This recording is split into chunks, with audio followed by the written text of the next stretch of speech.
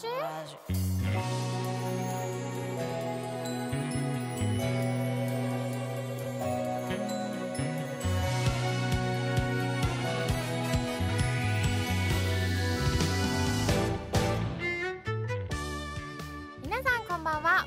大スター大鳥ココナ役の岩見真中です。皆さんこんばんは。同じくワールド大スター静香役の長谷川育美です。この番組は演劇ガールズプロジェクトワールド大スターの魅力と情報をお届けする番組です。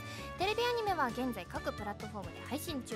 そしてゲームアプリワールド大スター夢のステラリウムも絶賛配信中です、始まりました。第64回。はい。今回のタイトルコール絶対わからないですよね。絶対にわからない。今回 今日は3月14日。日。3月14日といえば、ホワイトデーですよね。だがしかし、だがしかし今日は？えー、定番のラナさんです。さすが大スターでございます。ね岩見さん長谷美さんこんばんは。こんばんはタイトルコールですが配信日の3月14日はうん。3.14で円周率の日ということで、円周率は3.14と教えられたられたが、うん納得がいっていない小学生5年生男子っぽくやってほしいです。謎。天でもここ3に3月14日から円周率に持っていくっていうところがねさすが。さすがですよ。ね。本当にラーさんは毎回本当に送ってくださるのでもうそろそろラジオスタッフとしてお呼びしてもいい頃なんじゃないでしょうか、ね。えイベント来てくれるかな？文化放送のはいわらじタイトルコール部。タイトル。だってこの方は日常生活お仕事だか学校だかに加えてわらじのタイトルコール案を考えて提出する、はい。期限内に。そう。っていうことをちゃんとやってくださってくれてる。ありがとう。ありがとうございますなんで小学5年生だったのかはよくわかんないですけど。ひねってくれたんですよね。ありがとうございます。ありがとうございます。ひねってんの大歓迎ですよ。頼りにしております、うん。ありがとうございます。よろしくお願いします。ではワールド大スターラジオわらじ開演です。この番組はゲームアプリワールド大スター夢のステラリウムの提供でお送りします。ワールド大スターラジオわらじ。改めまして岩見真中です。長谷川育美です。まずは番組からのお知らせです。4月14日に開催される番組イベントのチケットの、えー一般販売の日時が決定しました、うん。一般販売は3月16日土曜日お昼の12時からとなります。またこのイベントの配信が決定しました。おお会場に来られないという方もぜひ配信でご覧ください。うんなるほど。よかったですね、まあなんか遠方に住んでらっしゃる方もいらっしゃるでしょうし、ね、チケットがね取れなかったよっていう方もね、ぜひ配信の方で楽しんでいただきたいんですけど、うん。なんとこのイベントまであとちょうど1ヶ月。ちょうど。あっという間ですあねっという間だね。ついこの間第1回目やった気がするうのに、あん。っという間です。今回は二部構成はい。ですからね、うん。あそうサリーちゃんと。そうだ。ね一緒に三人でいやー うわどうなるかどうななもうサリちゃんって聞くだけでも、うん。どうなるかな。楽しくなりそうだ、ね楽しくなるぞ、はい。絶対に。じゃあ皆さんからのメッセージ紹介していきますよ、ラジオネーム風刺丸さんからいただきました。ありがとうございます。す。岩見さん千川さんこんばんは。こんばんは。初めてメールを送らせていただきます。お二人がご出演されているということで以前から見たい見たいと思いながらも自分の悪い癖であるやりたいことでも先延ばしにしてしまう癖のせいでなかなか見ることができていなかったワールド大スターのアニメを最近になってようやく視聴させていただきました。劇中劇のある作品をあまり見たことがなかったのですが皆さんの演技が凄まじく。作画も本当に綺麗で前話とても楽しく視聴することができました。その中でも特に12話の「オペラ座の怪人」では自分の心臓が脈打っているのがわかるぐらい皆さんの演技に圧倒されてしまいました。うん。一体なぜ去年の自分はこんなに素晴らしいアニメをリアルタイムで見なかったのか後悔と自己嫌悪を感じています。そんなに？いいいいそんな。そこで質問なのですがお二人には何か直したい癖などはありますでしょうか？ちなみに僕のおじゃココナちゃんです。ありがとう。このおじや。嬉しくて立ち上がっちゃいましためちゃめちゃ自分のことを言うやん、ね。後悔と自己嫌悪。えいやいいんですよ。結局こうやって出会ってくれてるわけだから、そうですよ。見てくれたらそれでいいんですよ。しかもなんかちゃんとね、うん。我々のことも褒めてくださって、ね作画のこともね触れてくださって。本当にねワールド大スターの絵はやばいですよね。めちゃめちゃ綺麗、うん。舞台設定というか、うん。舞台の後ろの舞台の備品とかもうん。こだわって作られているし、なんかそういうところを見てくださるのも本当に嬉しいし心臓が脈打っているのがね。わかるぐらいっていうのがすごい表現。めちゃめちゃ嬉しい、ね。めっちゃ伝わってくる、うん。うわだし自分もなんかオンエア見ながらそのぐらい高揚したから、うん。本当にワールド大スターはいいんですよね。いいですようねん。ありがとうございます。ありがとうございます。何か直したい癖あります？癖か、なんだろう癖。うん。なんでしょうね。うん。なんでしょうね。多めにいちごミルク振っちゃうとか。今日初めてやりました。なんか最近さ、うん。癖とちょっと違うけど、はい。すっごい膝だるいのね そう膝が私でもこれ昔からで定期的にはい。膝がめっちゃだるくなるの。えどういうことですか？えなんかもううん。うーってなってうん。私ずっと殴ってんの膝を。えムズムズ病とかじゃなくてですか？えなんかあ確かにむむずうんでもはい。そのあんまり普段日常的にずっとあるわけじゃなくて、たまにあって今すごい長いの。珍しく。あなんか動かしたいみたいな。そうそうそうそう。それムズムズ病。ムズムズ病って何？なんかもう動かしたいみたいな。そうそれがうわーって。たまに数ヶ月に一回私もなります。あある？あります私ちっちゃい頃からあります、えで気持ち悪いのよ、うん。でも私膝というかもう足全体で。あでも本当でも大人になるにつれて結構収まってきました。ーなんかうん。かなんかゆいかゆいのよ。かかゆい？かゆいってかなんかそうそういう。ズワン。動きたいとかじゃなくて。あじゃない。あ動きたいじゃムズムズ病じゃないや。動きたいとかじゃないんだよね。じゃあ違いますうねーんってなって。えー、えずっと最近膝を攻撃し続けてるの私。こー、それなんでうやっですかね。て座ってんの結構辛くて。立ってもいいですよ。立ったらね立ったら顔が。映らない確かに。映らなくなっちゃうえー、それ大変ですね。これ嫌なんだよね、えー、でもなん昔かからあるのよたまに。癖ではないですね。癖ではないけど。直したない。い。直したいや確かに。つ癖ある。癖なんだろう。なんでしょう。まばたき。うん。まばたき？めっちゃしちゃいますえ多いの？まばたき。え多くないですか？そんなに気になるんですか？わかん。ないななんか私なんかの時にめっちゃまばたき多いなって思ったんですえ映像かなんかか見てて、はいおえ。自分が想定しているよりも まばたきしてて。え。ー、だからなんかでなんでなんでしょうね。多分緊張してるとよりかもです。うーん。だからそれはちょっとなんか嫌だなって思いますへね、え。うん。こそうなんだ。なんでなんで癖の話だったんだっけ？の方はこう後にしちゃう。後回しやりたいことは後回し。頭すぎてもうなんかその感想の方に意識持ってかれたなんで癖の話だっけ？と思って。待ってください。ちょっといいですか？また、うん。浮かびました、うん。私の癖。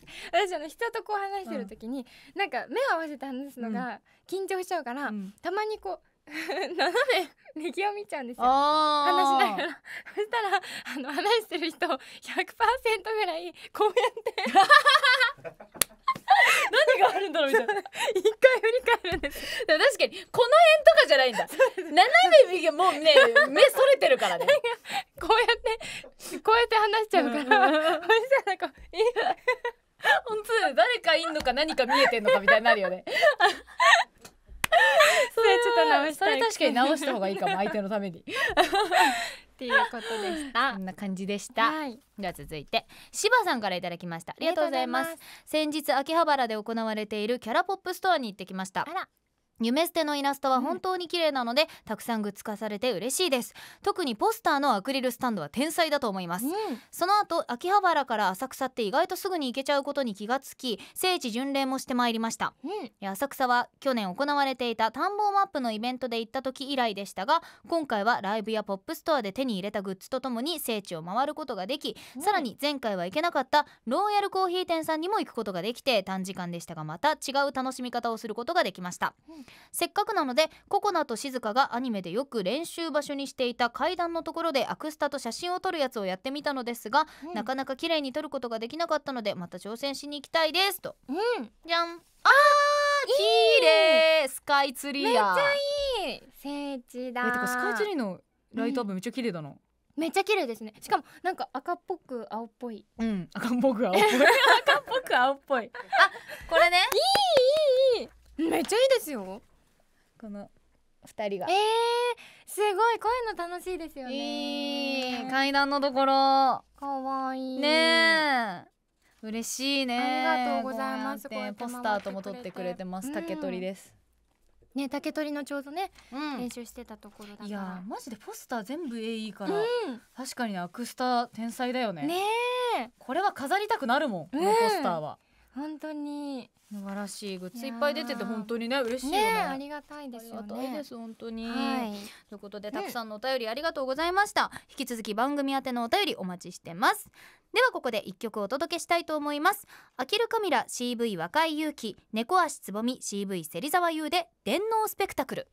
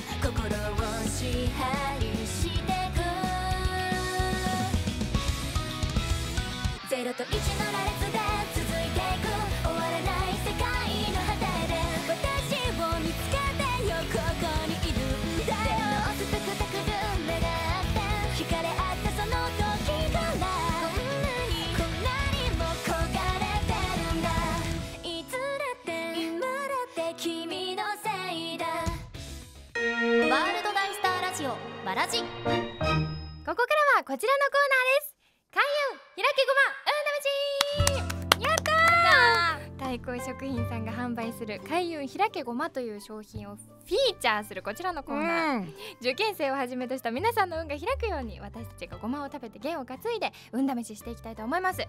今週もリスナーさんからアレンジレシピが届いております、ラジオネームサクサク魚フライさんからいただきました。美味しい。それも食べたい。うん。えー僕が紹介したいごまのアレンジレシピはすりごまたっぷりのもやしのナムルです作り方は加熱したもやしにすりごまごま油鶏ガラスープの素おろしにんにくね塩を加えて混ぜるだけと超簡単。美味しいので自分でも何回もリピートしていますといただきました、い。ということで今回のメニューはすりごまたっぷりもやしナムルですやったー！美味しそうな匂いがずっとしてるんです。もう大好き、うん。食べましょう。いただきます。いただきます。私ももやしのナムルはたまに作ります、くて。すごい！いや本当にあの今言った通り、はい。もやし加熱して和えるだけだから。うんう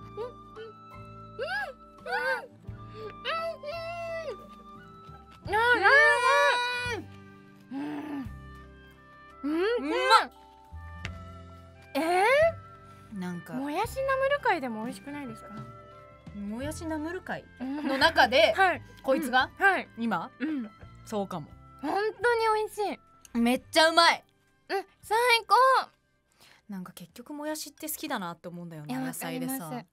安いし。うんそうそうそううん安いしね。私は後で前回のおにぎりと一緒に食べたいなって思うからちょっと一口やめよ じゃあ私は半分ぐらい食べます、う おにぎりもうんそこにすぐそこに残してるからね。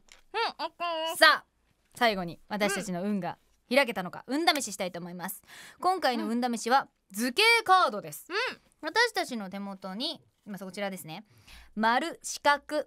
三角のマークが書かれたカードがあ丸×三角、うんうん。丸×三角のマークが書かれたカードがこここから今1枚。私が、私が取る？あ一人、うん。このなんか1セットもらいました今。はい。でこの一人がまず1枚カードを選ぶ、うん。そしたらもう一人はこの人はどのカードを選んだかっていうのを予想するという。できました予想。これ目で語っていいんでしたっけ？いいですか？私は選びました、選びました、うん選びました。じゃ目でその形をしてください、うん。目で語ります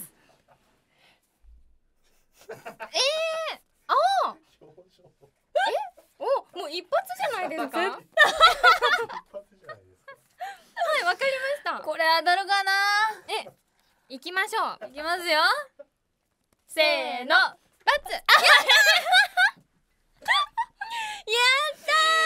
不正。不正はなかったです。不正はないです。目で飾っていいって。いやそ目で飾っていいって言ったからね、ちゃんと確認取りましたから。ここれこれだけじゃわかんないですよね、ちょっと目かゆかったんですよね。あむずっあかゆいって思っただけ。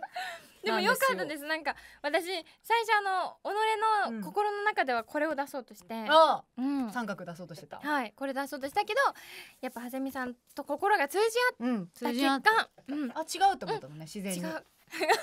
自然にね。とはい。いうことで成功！やった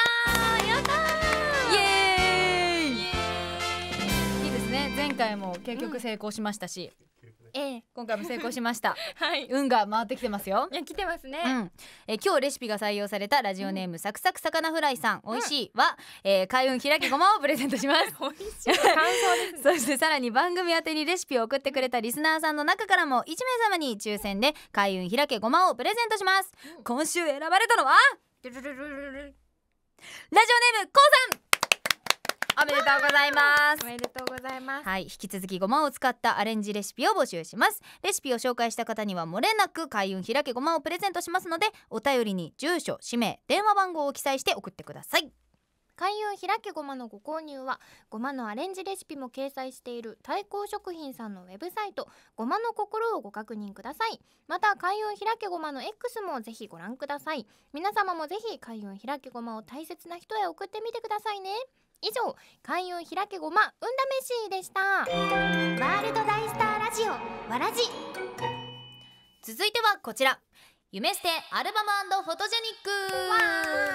このコーナーでは毎回一人のキャラにスポットを当ててその後の夢捨て内でのフォトジェニックな一枚を募集その魅力を再発掘していきます、うん。今回ピックアップするキャラクターはエデンのワンシュエです。はい改めて簡単に紹介しておきますとワン・シュエは中国の劇団から日本へやってきた15歳の高校1年生。ハングリー精神が高く成長も著しいが芝居は仕事だと割り切るドライさがあり生意気に見えてしまうところも、えー気に入った相手には故郷の火鍋をよく振る舞うというキャラクターでございます。はい。じゃあ紹介していきまましょう、えーまずはおしょうさんからいただきました。ありがとうございます。シュエのジャージー衣装が大好きなんですが、うん。その衣装を着てドローイングワールドを歌ってもらった時に見せるとびきりの笑顔に心打ち抜かれました、詩じゃないの本当にマスタ打ち抜かれました。ぜひご覧ください。わかりました。わかりました。見ます。じゃんあーかわいい見てえいいですねなんかパキッとした背景の色がよく似合う、かわいい。裏ピースだ。うん、かわいい。かわいい。かわいい。これは打ち抜かれますね。いいですね。本当に。なんかこれわざと素にしたのか。どっどっちなんだろちなんだろう。うもうこっち気になっちゃったちょっと。でも素がいい。ねえいいですね。ありがとうございます。では続いて炒めしさんからいただきました。ありがとうございます。岩見さん長谷川さんこんばんは。こんばんはいつも元いつもは元気なイメージのあるシュエちゃんですが、ディサイドの MV でふと見せる 物憂げな表情にドキッとさせられてしまいます、うん。その一瞬を切り取ったのでお送りします。あらまたギャップきましギたよ。ャップですよ。ちょっと準備いいですか？はい準備 OK です。じゃんわうわじゃーこの流し目ずるい。何があったの？何があったの？シュエちゃん。このうげ物憂げだ。物うげですよこれは。いいじゃんさっきのこれとはもう超ギャップこうですすから。ね胸の前で手を組んで。えいやこの節目がちなうん。のっていいよね、いいですよね。節目私もちょっと刺さっちゃうんですよね。いいですうんね、元気キャラの節目。うん。では続いて。はいぴゃんえんさんからいただきました。あありがとうごございます。お題はワンシュエということで、夢捨てないスポットストーリーでどうしてもシュエをめでたいんだと格闘していた大鳥ココナさんからうん。アイデアを受けたココナ妄想えーシュエかわいいねアルバムです。え？なんかいっぱいある文字がなんかそうなんだろう。2行しかないのにすごいいっぱいなんか急に入ってきちゃった。シュエサインのココナとの通称はさすがに笑顔が可愛すぎて優勝なので見てください。えすごい。なんか愛を感じますよ。じゃん。ごい。かわいい。えちょっと待って。ちょっと。水着良すぎ。良すぎるし似てる似てるわ。兄弟みたい。え？兄弟じゃん。姉妹みたいですね。もうだってこう見たらわかんないですよね。こうこれ一個一個ちっちゃいからな。こんぐらい離れてみるともうどっちがココナちゃん。どっちがシュエちゃんがわかんない。すごい。えー、なんか嬉しい。かわいい似てえいい。るめっちゃいい。水着やばいですね。水着めっちゃ可愛いんだけど。めっちゃ可愛い。うわー。えここ向き合ってるってことだよね。そうですねこっちココナちゃんですよね。こっちがこっちがここなココナちゃんですよね。こっちがここなすごい、えー、めっちゃ嬉しい。いいいねやわあいいわ。このツーショットはいいです、うん。とても。ー嬉しい。ありがとうございます、では続いて、あたるさんからいただきました。ありがとうございます。推しのシュエがピックアップされるということで、アクティブかつ可愛い表情を詰め込んでアルバムにしてみました、うん。シュエの黄色ジャージ私服が似合ってて大好きです。おいきます。じゃんあえ私服可愛い私服可愛すぎる黄色似合う。めっちゃいい、かわい。いいいですね。こういうラフな感じの。うん。私服めっちゃ可愛い。やっぱなんかパキッと色が似合いますね。ねそうだうんね、うんうん。すごい。かな。わいい。下もみんな言ってますね。やるじゃん。すごいね。ね。お見事。可 あれ？愛い かわいい。最高だ。うん。では続いて。ランアさんからいただきました。ありがとうございます。岩見さんはさみさんこんばんは。こんばんは。私のお気に入りの一枚はシュエとリリアが歌う夏の夜空に光る雪の MV での一枚です。ます衣装も可愛いですしこのシュエちゃんの笑顔を見てください。これで普段はツンツンしてると思うとたまらんですね。といただきました。いきます。じゃん。あーかわいい。うん、刃ですか？奥歯かな刃刃ですか？刃刃じゃない？これ刃ですよね。刃だよ。可愛すぎる。可愛いこれ。えー、可愛いこの衣装たまらんですね。ね衣え装いい。それめっちゃいい。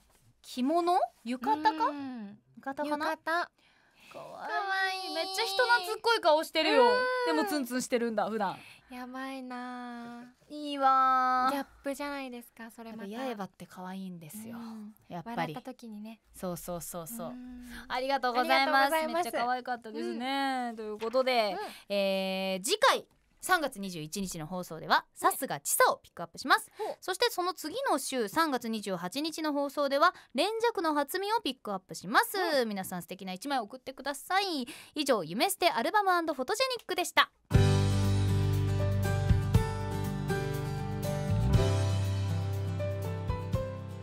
ここでワールド大スターからのお知らせです。4月1日月曜日2日火曜日に ATX にてテレビアニメ「ワールド大スター」の一挙放送が決定いたしました、えー第1話から第6話が4月1日月曜日の25時から28時での放送。第7話から第12話が4月2日火曜日の25時から28時での放送となります。この機会にぜひテレビアニメもチェックしてくださいねまた夢捨てのボーカルアルバムが続々リリース中です。去年12月に発売した第1弾銀河座のアルバムプラネタリウムレビューに続き第2弾エデンのアルバムフェイスインエクスプレッションが好評発売中です。ぜひお近くの CD ショップまたはオンラインショップをチェックしてください。さらに第3弾となる劇団電姫のアルバム「デアエクスマキナも4月24日水曜日に発売決定しております。対象店舗で購入すると劇団ロゴアクリルスタンドが特典としてついてきますのでこちらもぜひご予約ください。またワールドダイスターキャラポップストアがアトレ秋葉原2階であさって3月17日日曜日まで開催中です。ユメステのさまざまなイラストを使用した新規グッズ販売や必ず景品がもらえるミニゲーム劇団電姫のディスティニーガラポンを展開しております。ぜひこの機会にワールドダイスターキャラポップストアにお越しくださいね。3月23日土曜日からはキャナルシティ博多サウスビル地下1階バンダイナムコクロスストア博多でも同じくキャラポップストアを開催予定しておりますのでそちらにもぜひ足をお運びください。新妻八重のプライズフィギュアが3月下旬より全国のクレーンゲームに登場予定です。天才子役の可愛らしい表情とポージングが魅力のフィギュアとなっておりますので大鳥ココナ静香カトリナ・グリーベルと合わせてこちらもぜひお迎えくださいね。次にゲームのイベント情報です。現在アーケード向け音楽ゲーム音劇とのコラボイベントステラリズムシューターズを開催中です。簡単なあらすじを紹介します。ある日リリアは秋葉原でとある高級ドライヤーを探していた。あちこちの店を行くが全て品切れ。そんな中彼女の目に留まったのはゲームセンターで開催される音劇の大会でマイペースなリリアたちによる特別なコラボイベントとなっています。コラボではなんと音劇のカバー楽曲として「YYY 計画」「Give It Up to You」「絆はずっとグローイングアップ」「トランセンドライツ」の4曲も追加となります。各劇団から選ばれたアクターが歌唱しておりますのでぜひゲームでプレイしてみてください。そしてイベント内ではイベントポイントを交換することで音劇キャラクターの大阪茜の衣装を着た与那国光のアクターカードが手に入るチャンスもございます。また音劇キャラクターの衣装を着たリリア・クルトベイ元ストアが入手できるコラボ限定アクターガチャや大鳥ココナ連尺の初見が音劇キービジュアルを再現したポスターが入手できるコラボポスターガチャ大鳥ココナ静香カトリナ・グリーベルが音劇衣装を着たコラボオリジナルポスターが入手できるポスターガチャなどが登場しています。最後に音劇コラボに合わせてコラボ記念ログインボーナスも開催中です。期間中に5日間ログインすると最大で無償劇ジュエルが3000個ゲットできます。イベントは3月19日火曜日までの開催となりますのでぜひゲーム内でチェックしてみてください。以上ワールド大スターからのお知らせでした。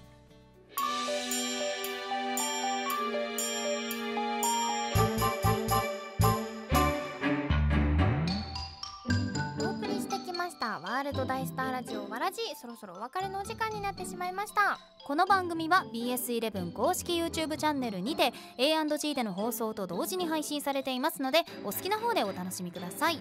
アーカイブはワールド大スター公式ホームページのラジオの項目からも飛べますのでぜひチェックしてください。さらに4月14日日曜日に科学技術館サイエンスホールにて番組イベントの開催が決定しています。3月16日土曜日お昼の12時からチケット一般販売が開始となります。またこのイベントの配信が決定します。した。会場に来られないという方もぜひ配信でご覧ください。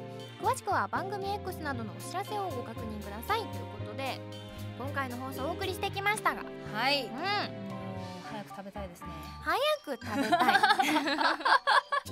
皆さんもぜひということで、はい。よろしいでしょうか？はい。そろそろお別れのお時間でございます。この時間のお相手はワールド大スター大鳥ココナ役の岩見真中と静香役の長谷川育美でした。せーのバイバイ。この番組はゲームアプリワールド大スター夢のステラリウムの提供でお送りしました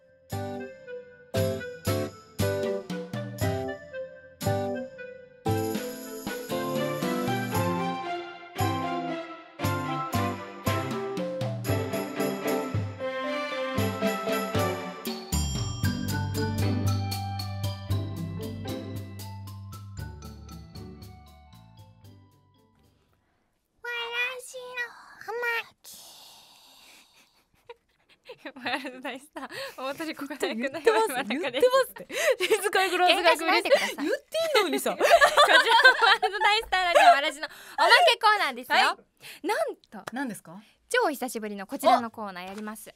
私もまるまる大スターじゃあ溜まってるんじゃないのいろんな大スター、はい、あおすみれすみれラジオネームすみれです。私はお手手プニプニ大スターでですね何それ？えシンプルに手が肉厚でプニップニです。誰にも負けない。そうだ誰にも強い意志を感じる。ひとたび握手すれば私の虜になる。なんかもう断定なんですよね。ずっとコンプレックスだったのですが友達から触り心地が良すぎる。ずっと握っていたいと星5レビューをたくさんもらうので星5レビュー長所にすることにしました。たまに友達すみれグーして私グーにする。友達あーお腹すいた私誰がクリームパンやといういじりが開催されますが楽しいからオールオッケーで。すすげえよもう持ちネタできてるじゃん。もうなんかすみれのメールテンポ感良すいぎる。やマジでわかる。すみれってあのいろんなとこに送ってくれるんですけど、うん。やっぱ採用してしまうのよ。文章がねいいの。なんかポンポンポンポン読める。ポンなんかねいいよね、はいテンポ感本当に、うん。すごいわ。いやすみれ。すみれプニプニなの？プニプニなの？そうなんだね店に来てよ。次もし前の方にいたらこう見せてこう。ずっとずっとこうやってなんか何もうちらがすげえ手見せて。え？みたいな。で待ってみた。らあちょっとグーにして。グーにする。あーお腹すいた。誰がクリームパンや 客席から誰がクリームパンや。いや本当に。そうなんだいいねえーいいじゃないか、ね。なんか幸せにするじゃん。うんちょっとこれ。私なんか本当文才がね素晴らしすぎていや合格です。いやもう合格のコーナーじゃないんだけどね。大スターなんか文才も大スタはいーだし、文才も大スターです才の大スター結構いるよねわらじのリスナーさん。そうなんですよね。ねまあサバンナもそうですけど。サバンナやばかったですサバンナ長長編小説だそうそうそうもう作家ですからあの人。そうそう。ですよ。もう最高だったな。本当にみんなすごい。面白い、うんキャラが強いんでですよね、うんこのラジオ続きましてわらじネームむつきさんからです。ありがとうございます。えー先日自分の思いがけないセンスが開花したので何メールを送らせていただきます。それはカラオケのセンスです。聞かして？とあるイベントの合間に空き時間ができたため、うん。一人カラオケに行ってみました、うんうん。そこで久しぶりに採点ありのカラオケをしたのですがなんとワナビスタと Two of Us で全国1位の点を出すことができました。過去一応証拠写真があるみたいですえーお歌激うまのお二人にこんな話をするのも少し恥ずかしいのですが嬉しくて送ってしまいました。好きな曲でいい結果が出るのは達成感がありますね、ワールドダイスターへの愛で1位を勝ち取った私をダイスター認定していただけないでしょうかといただきました。えー、じゃあすごいじゃん。いきますよ、うん。せーの。でれんおおはい。でこれ何？どこに一？あ一だ。一って書いてある。れん全国どんぐらいの人が参加してるんだろう？そう一人ってことない？それはそれで悲しいですけどね。えでもすごいですよ。90点台。94点出してる。えこっちがなんだ？これが学びトゥーオブアス。あトゥーオブアスなんて94だし。ねえ。すごい。え難しいよ Two of Us えもワナビスタもよね。しかも一人で歌ってるわけでしょ？えカラオケ採点する派ですか？しない絶対に じゃあ終わりです。そういう採点の時間がもったいない。もうその時間あるなら歌いたいから私ことか。えー、すごい。えー、すごいじゃん。でもなんだって1位はすごい1位よ、はすごいカラオケなんてもう全国ですから、うん、うんそうで地域とかじゃないからね。しかも一曲じゃないところがうん。あの偶然ではないということをね。証明している気もします。なんだろうなんか登録とかしてたらさ残るのか名前が。え1位とかそうなんでしょうねそうじゃない？確かに。えー、すげえじゃん。これ大スターじゃないですか？確かだってにこれ何大スターだったっけ？これはカラオケ。カラオケ大スターは幅が広いな。ちょっとカラオケ大スターは幅が広い。100点出さないとカラオケ大スターそうかそうかじゃああのーだからもうオープンエンド。オープンエンド大スター大スターオープンエンドはい。大スターです。大スターです。暫定1位です。これはでも乗り換えられる可能性ありますからね。確かに。これもう戦いますよむつきそさん今これ読んだことによって、今見てる人がもしかしたらうわ1位狙いに行こうって思ってるかもしれかもないしれない。気をつけて。じゃあこれからもこカラオケお待ちしております、はいカラオケお待ちしております。続きまして、えー、わらじネームなぎりんさんからいただきました。ありがとうございます。えー最近ふと思い浮かんだのが、画用紙工作大スターです、えー。え職業柄画用紙を扱うことが非常に多く最近では、えー紙ん？型紙？型紙さえ用意できれば大体どんなものでも1時間ほどで作品として完成させることができるようになりました、大きさは様々で大きいものだと A3 サイズくらいから小さくなると名刺カードサイズまで。もちろん家には画用紙カッターのりなどが常備されていていつでもその日の気分で作品作りができるようになっています。趣味の一環なんなら自己満足の世界なので普段は完成させた時点で終わりなのですが最近は静香ちゃんカードを作ってそれを片手に浅草に聖地巡礼に行き写真を撮って楽しむという新しい楽しみ方を開拓しましたって。自分で作ってうん。アクスタ持ってくとかじゃなく自分で、ええ？すごいいいですか？せーの。これを作ったの？切り絵みたいなやつですよこれ。ほら。これさ重ねてるってことかな？そうですわ本当だ。すごい、これ待ってください。これ欲しいこれどこにあるの？これ欲しい。誰か誰かが。い。いいきますよ。かわい。いこれ見えるかな？結構ちっちゃいからね。でも静香ちゃんわかるじゃないですか、うんでもこれ綺麗です。マジですごい。こちらも。やばい。ねえ。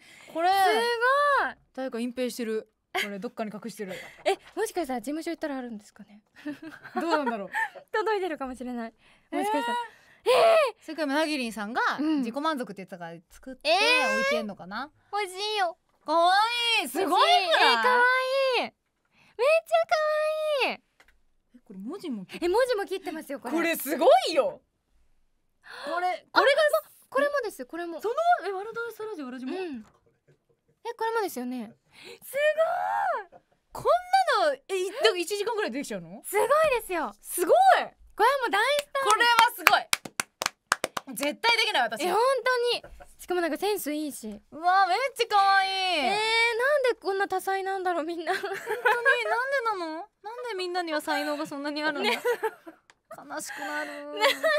ありますよ。セミさんもいっぱい才能。えめっちゃ可愛い。めっちゃ可愛い。ありがありがとうございます。じゃ嬉しい。あほっこりしたところではい。終わりです。じゃあね